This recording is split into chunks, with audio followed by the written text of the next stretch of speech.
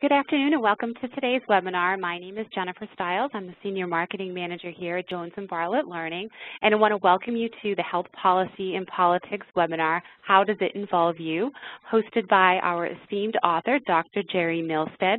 This session will be recorded and will be available for download within one week from our www.jblnursing.com community site. You can locate this presentation by going over to the Events tab, and it will be posted posted there. So at this time, I want to thank you for your patience, and I'm going to turn it over to Dr. Jeri Milstead. Hello, everybody. I am so excited to, to know that there are lots of you out there, and I hope that you feel free to ask questions or make comments as you choose. I'm Jeri Milstead. I've been a nurse for over 50 years. I have worked in both practice and in all of practice, education, administration, policy, I am an internationally recognized expert in health policy. I have taught at, uh, most recently, at the University of Toledo College of Nursing, where I was dean for 10 years, from 1998 to 2008. Before that, I was director of the graduate programs at Duquesne University in Pittsburgh, and before that, a faculty member for 10 years at Clemson University in South Carolina. My educational credentials, I have a PhD in political science and health policy from University of Georgia. I have a Master of Science and a Bachelor of Science cum laude in nursing from The Ohio State University in Columbus, Ohio. And I have a diploma in nursing from Mount Carmel Hospital School of Nursing in Columbus, Ohio. Enough of that, let's get on to things. We're going to talk today about the fifth edition of Health Policy and Politics, A Nurse's Guide. And I'm very excited. i am very proud of the contributing authors who have made excellent uh, work in their chapters through the fourth editions and wait till you get a load of the fifth edition. All of the contributing authors have updated their material. They've updated their case studies. So to kind of give you a background for this, the first edition was research-based because there were about five of us in the country with master's degrees in nursing and PhDs in political science, and we each did our dissertation research on different aspects of the policy process. So it was almost a made book to begin with. It covers the whole policy process. There is no other book out there that, that does that. It doesn't just focus on legislation. Since there has been active interest in government policy since the 1990s, we have realized the value of having our voice at the table. It is crucial that nurses be at the table when policy, and we're talking usually right now about federal policies, health policies are being discussed. So if we aren't involved in these decisions and if we're not at the table, then all kinds of decisions get made by those with little or no knowledge about nursing, about health, about patient care. And since most of you on this webinar are nurses, you know what I'm talking about. We don't expect legislators, and you really shouldn't expect legislators to know much about health, and they know very little about nursing. And they don't know much about patient care unless they've been a patient or unless they've had somebody in their family as a patient that usually captures their interest a lot. We know that we don't work in silos anymore, that practitioners must work together as a team to provide access and quality care in a very cost-effective manner. So we are moving out of the silo with this edition, and we'll talk more about specifically about how we're doing that in just a minute. Again, why health policy? We still address the whole policy process in the fifth edition. It is written by experts. All of the chapters are written by experts who have experience and education in public policy and in particular areas of public policy. So they speak with authority. The chapters include theory, and that is political science theory or nursing theory or healthcare theory, and we provide examples that apply to real-life policy. How is the fifth edition different from other policy books? We have expanded policy to all healthcare professionals, again, written by experts in their fields. Other policy texts tend to focus on specific laws or regulations like the Affordable Care Act or Medicare. We are broader than that. We look at the process. We provide case studies that are relevant, realistic. We include discussion points so that the reader can be prompted to lead some or participate in some discussions about what they've just read and the Student Navigate Companion website with additional case studies will encourage further thought. And there is a website that is noted in the book where you can get to the Student Navigate Companion website so that not only are there case studies embedded in the book itself, but there are others online. Again, just a, a brief overview of the health policy process and the book. We talk about policy process from agenda setting, in other words, getting your problem or your issue to the attention of government, then getting a government response, often in the form of legislation or regulation, but what those two entail and how do you do that? Then policy design, what kinds of tools are used in designing policy? That's a, that is a chapter that nobody else addresses. And implementation and evaluation. I know you say, well, implementation, what is that about? Very, very political. Very political decisions are made in how programs, for instance, get implemented. And evaluation, you don't always see evaluation. You don't always, government does not always provide evaluative materials or evaluating opportunities. But I can tell you that Ardith Sudduth wrote a, an absolutely masterful chapter on evaluation, so read it carefully. She gives you lots of things to think about and lots of opportunities where nurses can get involved. We included last time social media and health decisions. And actually that, that is, again, an updated chapter. And we talk about big data, and we talk about a lot of things. Economics and finance, the two are separate. They're not the same. And Nancy Short has done a, a wonderful job of explaining the differences and focusing on the two and how that affects our health policies. The interprofessional perspective is a new chapter.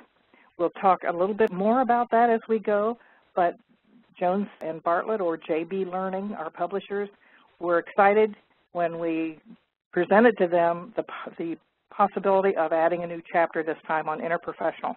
And it is written by three top people, not nurses, but who are top experts in their field. And then we've always included a global perspective because as you well know, especially look at Ebola, look at polio, the epidemics, look at TB, malaria, all of those are global health issues. And we must figure out how we can, since we are a part of the whole globe, the whole international scene, how what we do affects others and how what others do affect us. From an instructor and a faculty perspective, again, we get real pragmatic. We have some realistic activities to stimulate some involvement. So if you are a faculty member and you want your students to, to do something, we'll give you some ideas about what what kinds of projects you might have. We include exhibits and tables and boxes for quick reference and current references as well as classic references. Some of the references are very old, but they are so classic we couldn't not include them. Student testimonials, I've taught classes for many years on health policy using this book, and I have colleagues who also have taught these classes. And we've had some pretty wonderful and remarkable testimonials, we'll call them, or comments from students. One, I've been a nurse all these years and I'm excited about having a resource that contains relevant and current policy information for nurses all in one place. And then comprehensive, thought-provoking, love the case studies. I never knew most of this content existed before this course. I find that comment often, even in graduate level courses, not only master's but doctoral courses. I think we've been so concerned with our practice that we really haven't put it in the context of the bigger look. The authors have convinced me that I have to get involved in policy decisions. Well, that warms an author's heart for sure. Every chapter presents different opportunities to become engaged, and that's the point. We want anybody who reads this to then see, oh, I could get involved here. I could get involved there. I could do this. It's not leave it to somebody else. We can't afford to do that today. The instructor resources, there are key points for every chapter. Uh, check J.D. Polk's component in the interprofessional chapter. He only has one, and it's called crowdsource. So if you're not familiar with crowdsource, read his section and, and find out what crowdsource is about. Uh, we have case studies, again, that encourage discussion and debate.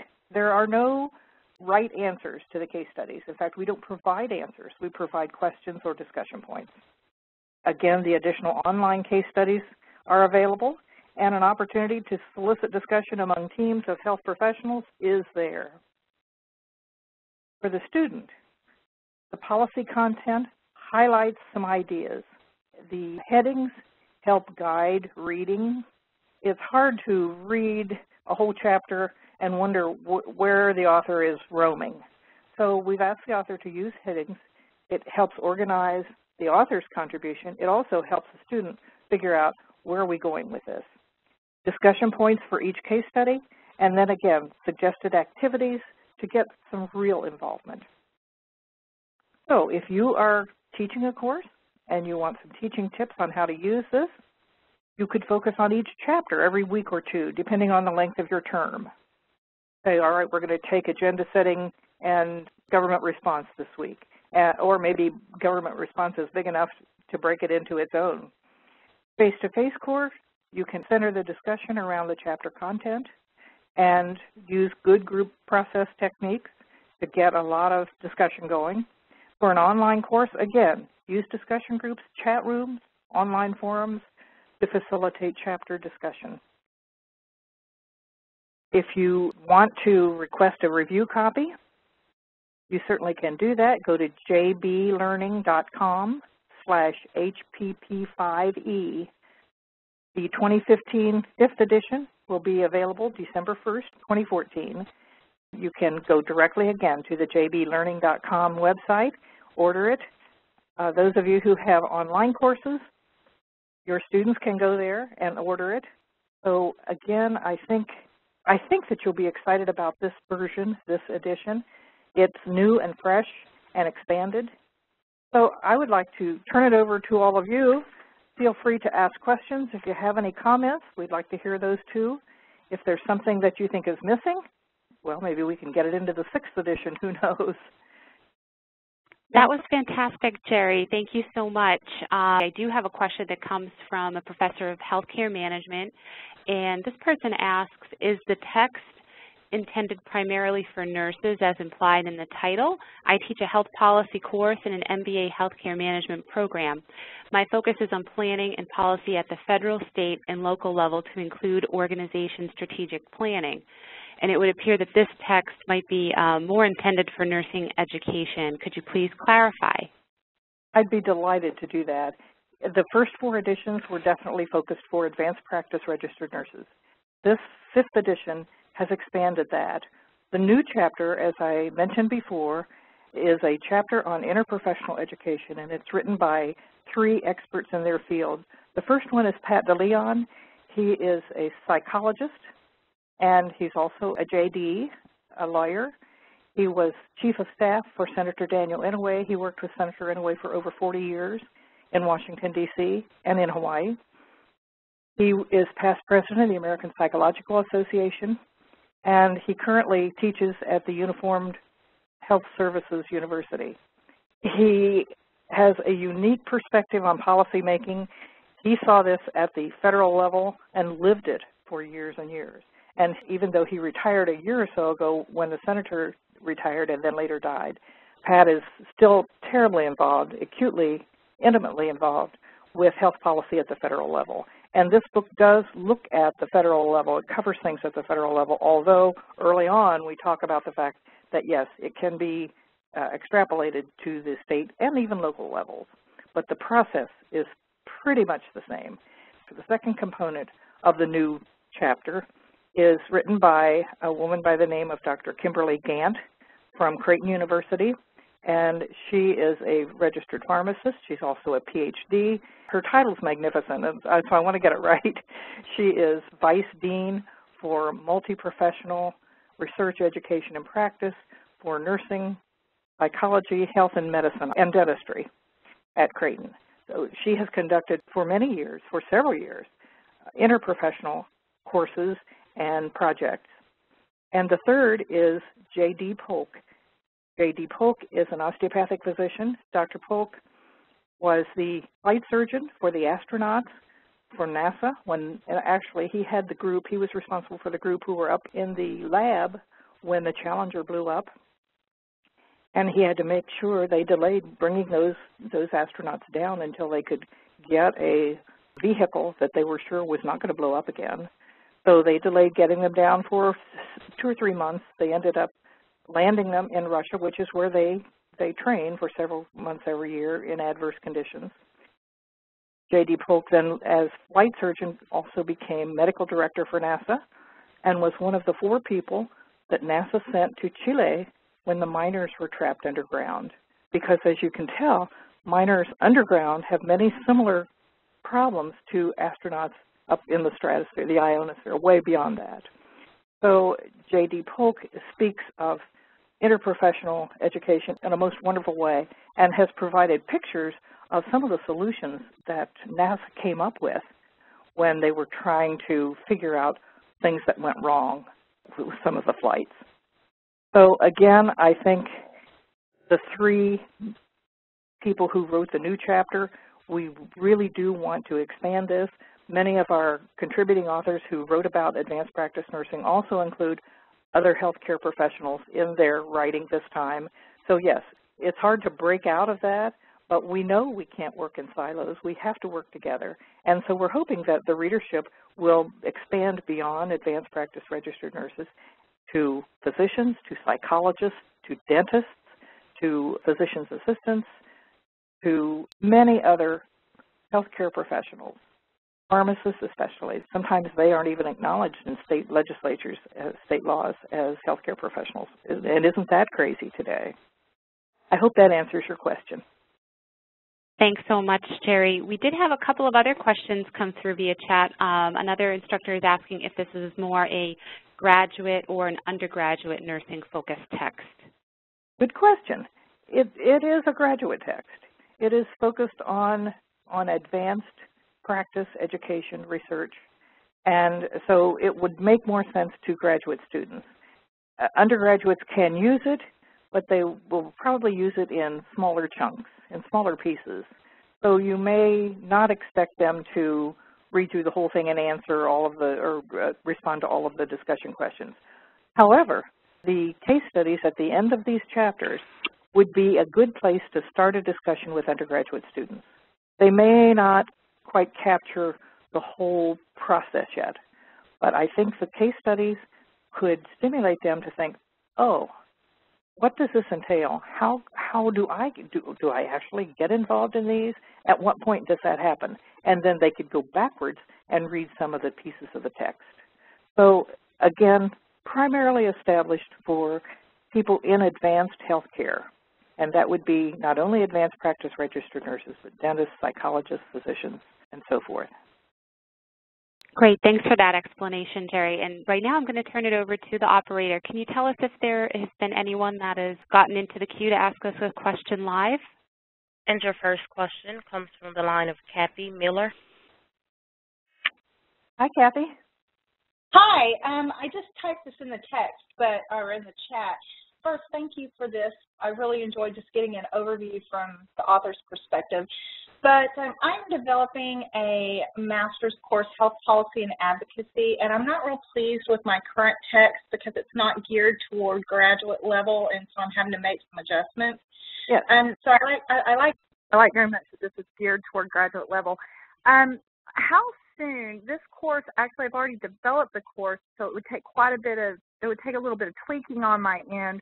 But how soon could I get a review copy? Is it that available December 1st date, or could I get one sooner?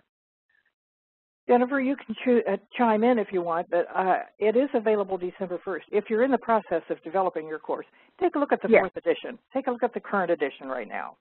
Okay. And look at the chapter titles.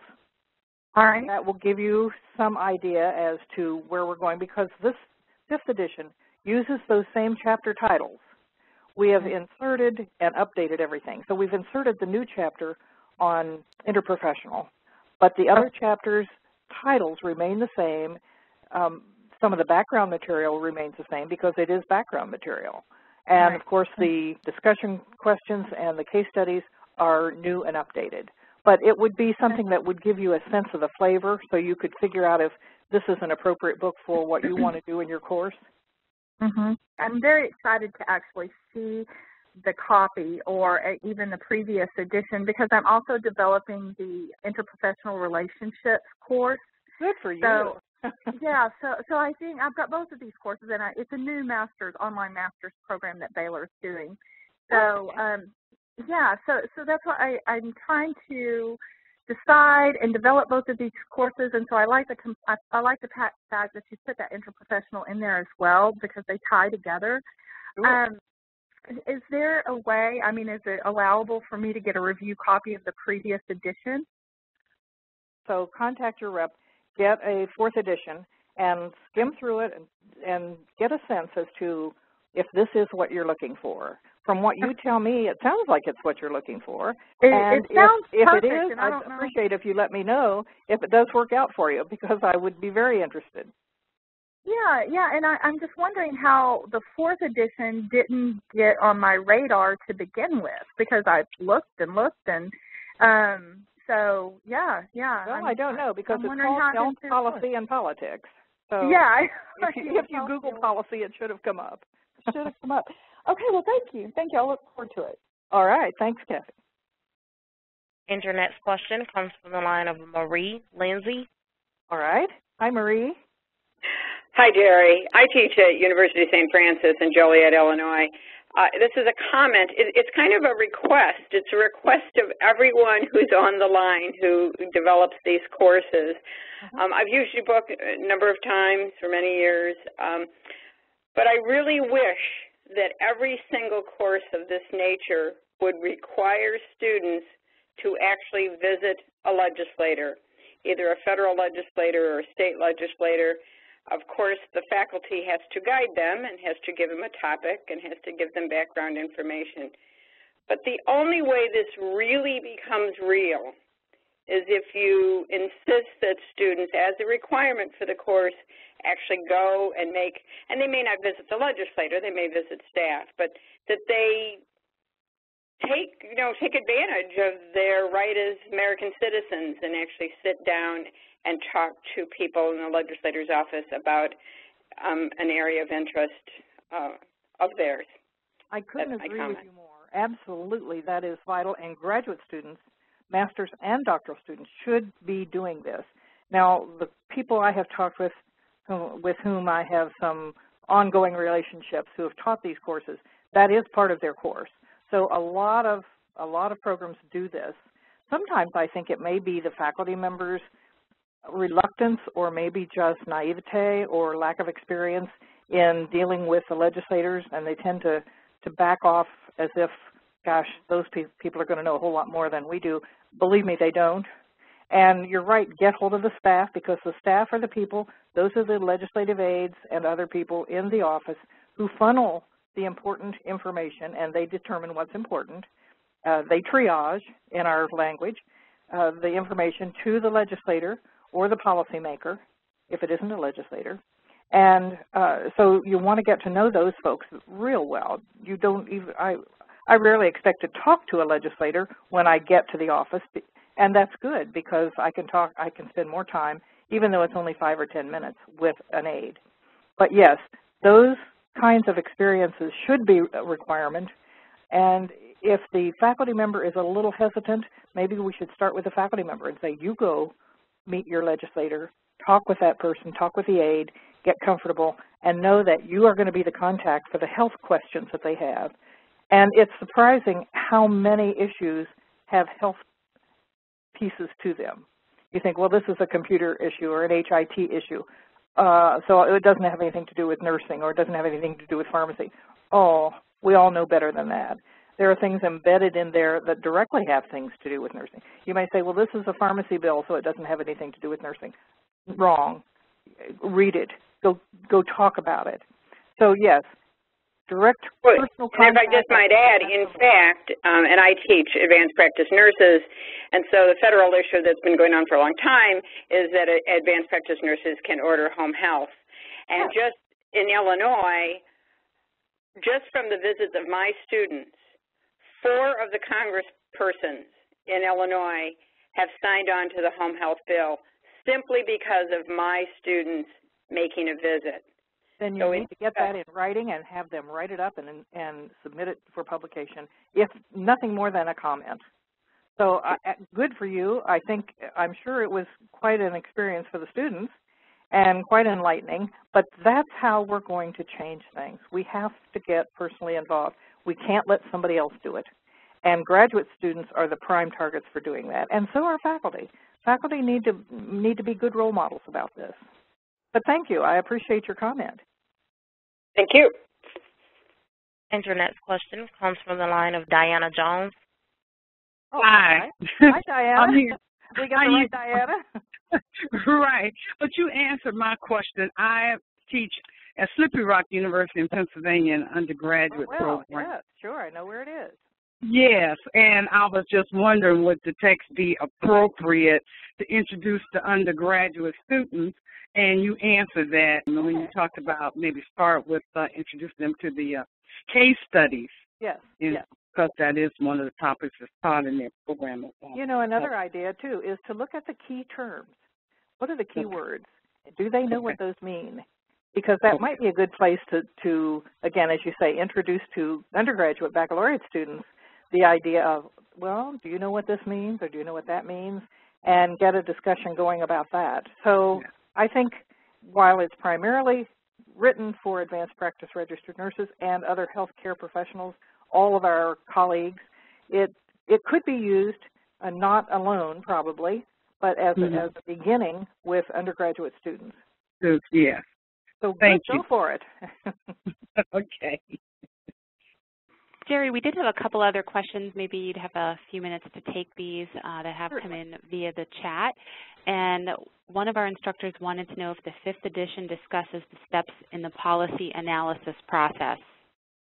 It does, and I'm not sure that there is a, a takeout or a highlighted or a boxed exhibit that indicates how to analyze a policy but there are pieces within it, and maybe maybe we should do that for the next edition. Actually place a section that says, okay, now there are a variety of ways. There's no one best way to analyze a policy. Let's start there.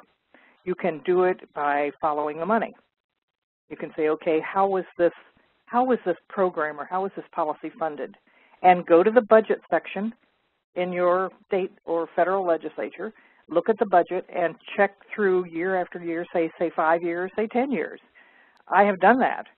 And there may be reasons why budgets are cut or budgets are extended.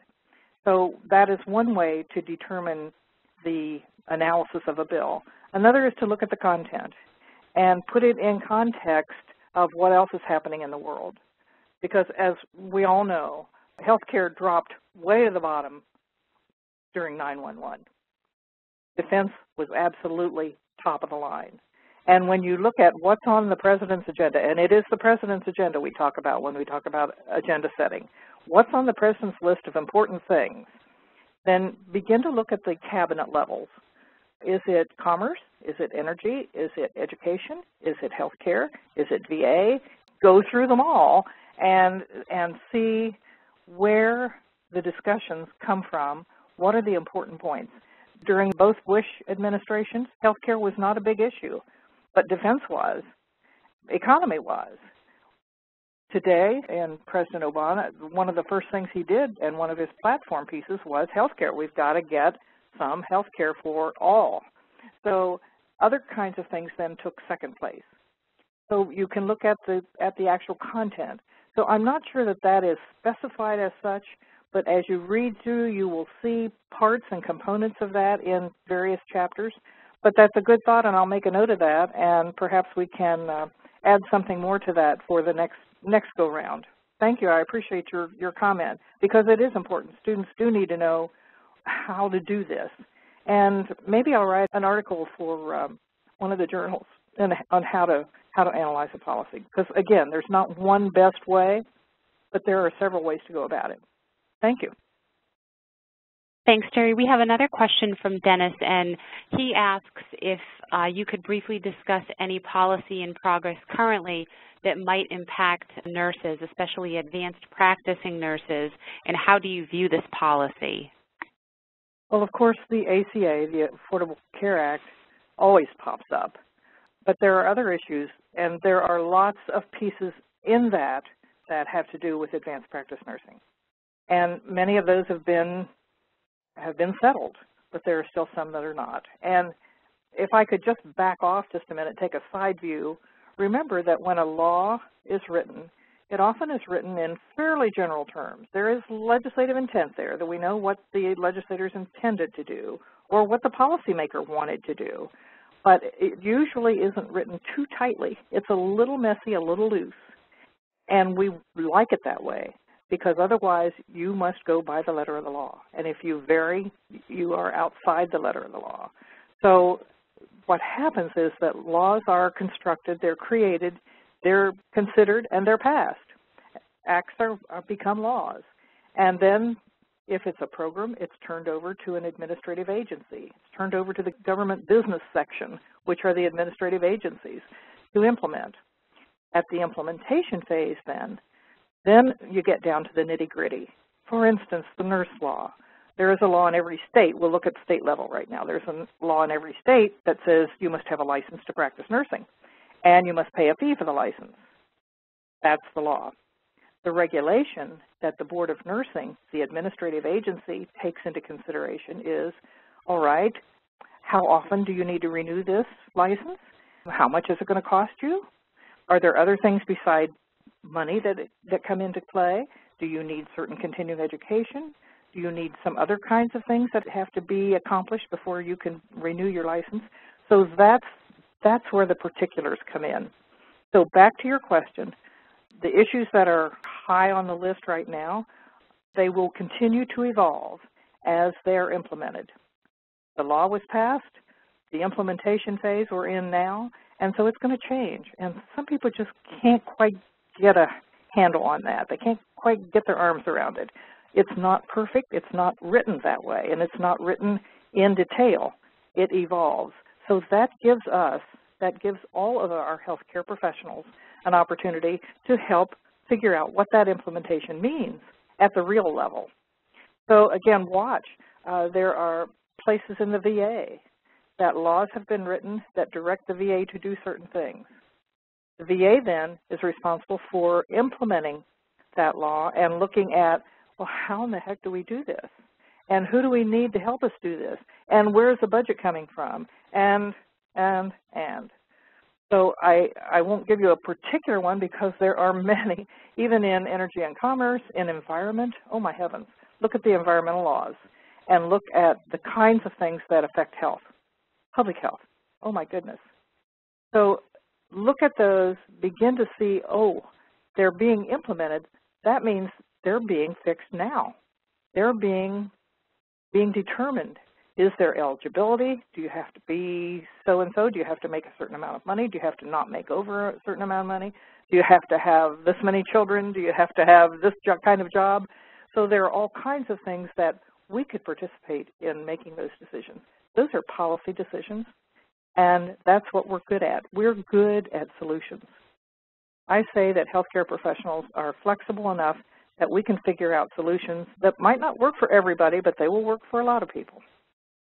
I hope that answers your question and it gives you a little broader background than your question was directed for. Great. Thank you, Jeri. Just a couple of more uh, questions. We have Barbara asking, she's developing a PhD level health policy course with a focus on research as a critical component in shaping policy. She's planning to use the Grady and Hinshaw's text and is planning to use the fifth edition of your health policy and politics text as a second requirement and wondered what your thoughts were, I think, on that combination of textbooks within the course. Congratulations first of all, on getting the PhD policy course, or is it a DNP? Whatever it is, the doctoral level policy course. Both types of doctoral programs need such a course, and many have them. But if you haven't had it before, then good. I'm glad you're developing it. And yes, I say those two texts are, are perfect. You want to be able to have the correct research tools, absolutely, so that you need to know about all the kinds of statistical measures that you want to employ. The fifth copy of Policy and Politics does not go into statistical measurement, but it does talk about how one comes to consider what is happening in the policy arena and then what needs to be evaluated, what needs to be discussed, what needs to be implemented, how does that go about? And especially in the evaluation of programs, there may be wonderful opportunities for students to construct some evaluative tools. For instance, uh, I was talking last week with a person who was saying that in the Ohio Department of Health, there is a, a program that they've just gotten up and running, and it will take a person who is a hoarder, you know, the people who hoard clothing and belongings and stuff their houses full of hoarded stuff, and realize that there's a behavioral health component to that. And a local judge, a municipal court judge, the only one in the country, I believe, and he's in central Ohio, has created a mental health hoarding program. I talked with him last week. It hasn't been in effect very long, but he's dying to know whether it works. I'm thinking, oh my gosh, here's a perfect project for a doctoral student to take on to construct an evaluation tool so that they could ask the right kinds of questions, get the right kind of data, and provide a full and comprehensive evaluation. So look around. Look around in your state. Look around in, in the federal area. It might be a little more convenient to look in your state, but look for things that have not been evaluated. Look for opportunities to gather data, and it may be through your Board of Nursing. Maybe your Board of Nursing has gathered data and it's sitting there. They don't know what to do with it, or they don't have personnel to do, deal with it. So again, I think there are lots of opportunities. We just have to begin to expand our, our brains a little bit and expand our thinking processes and say, oh, if we're looking for opportunities for research and we're looking for high-level advanced issues, a doctoral program student is the perfect person to head that up. So that would be my answer to you, and let me know how it works. Thanks, Jeri. Mara asks us one question, which is, what are the recommended journals on policy and politics? And then we have another instructor who asks about how to use the triangle theory related to health policy. So maybe you could address those two questions for us. As far as recommended journals, there's Health Policy and Politics. David Keepnews was the editor of that for a long time. I'm not sure if he still is or not, but that is one good solid one. But don't forget the regular journals in, in your specialty area or overall, because they will all have some kind of a policy corner. And maybe that's all you can manage at one time, is a, a policy corner from a couple of journals. But look at your specialty journals, look at your general journals, and uh, American Nurses Association. The American Nurse has, has a policy corner. They all have policy, most of your journals, if they are true legitimate advanced practice, even the, the basic ones, will have updates on current legislation or on current thinking about what is coming down the road. And so check those out. Now the second part of that how to use the triangle theory oh. related to health policy. Okay, if you're looking at the iron triangle, the iron triangle is congressional legislators and their staff and other people in administrative agencies and the administration, and the three of them work together to create some policies. Now, depending on how willing they are to work together, and right now things don't always work that way, but in the past they have, and I think in the future they will, they'll be forced to do it again. Then those kinds of issues you need to look to see what are the political issues, who are the opponents, who are the proponents, know your opponent, and try to understand what it is they're opposing. What piece, oftentimes it'll be a small piece of something that you're wanting to do that they oppose. There's often something common that they can come together on. Even the differences in the pro-life and the anti-abortion people, they looked at the one thing they had in common was try to reduce the number of abortions. Okay, start there. So know who your opposition is, know what it is, know whether it's a piece of the action or the whole shebang. If it's the whole idea of the thing, then talk with them. And it, it may be that you can't come to an agreement. And if you feel strongly enough about what you're doing, you'll have to go without them and know that they're going to oppose. And try to gather enough support so that you can overwhelm.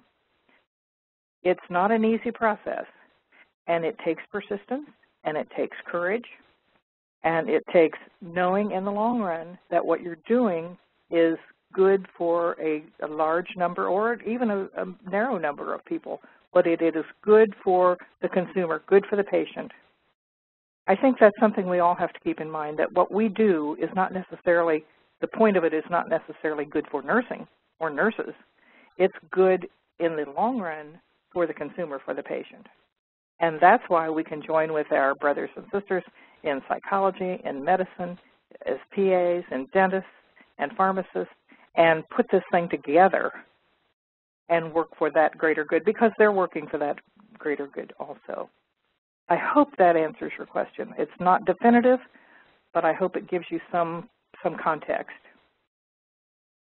Jeri, thank you. That was fantastic, and the instructor thanks you as well.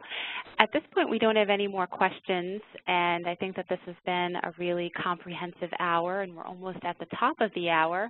And I do encourage you, if you would like a review copy of the text, you can reach out to your sales rep and they will be contacting you now that you've attended the webinar and you can definitely put in a request early to get your review copy when it releases in the very beginning of December. Or you can also visit go.jblearning.com slash HPP5E. And I'd like to thank our guest presenter, Dr. Jeri Milstead, for your time today and for your preparation and for imparting all of your knowledge to today's attendees. You're Is welcome. Anything it was else? my pleasure. Oh, great. Thank you, Jeri. We really enjoyed having you host today. And we do hope if you would like to join another webinar that you do sign up. You can find those listed on our nursing community site at www.jblnursing.com. Thank you again. Bye.